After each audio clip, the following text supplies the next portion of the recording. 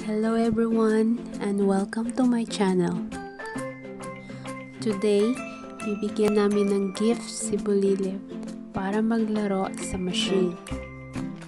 This toys machine, you need to pay 30 crowns. In peso, it cost 160 pesos. Medyo mahal, no? Dalawang kilong bigas na rin yun sa Pinas. Ha?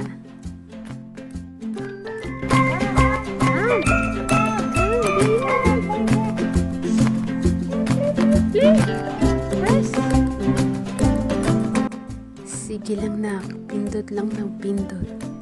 Huwag mo lang sisirain. Wala tayong pambayad. Abangan po natin mga kaibigan kung ilang taon kami bago makakuha ng starters. This machine, hindi po kayo uuwi na luhaan kasi kahit paulit-ulit po kayo mag-try, may makukuha po kayong stock toys. 100 years later.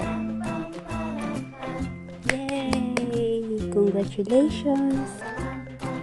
Yes, kunin mo na yung prize mo, bulilit. Uy, ayaw pa atang matanggal. Pa-help ni ng LG.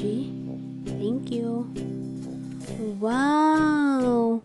Meron na siyang dog and she is very happy. Ang itsura niya ay so priceless nang makuha niya na ang dog.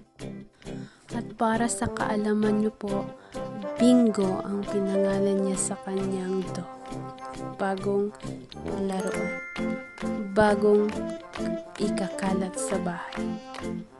At dito na po nagtatapos ang aming mahabang drama. Thank you for watching.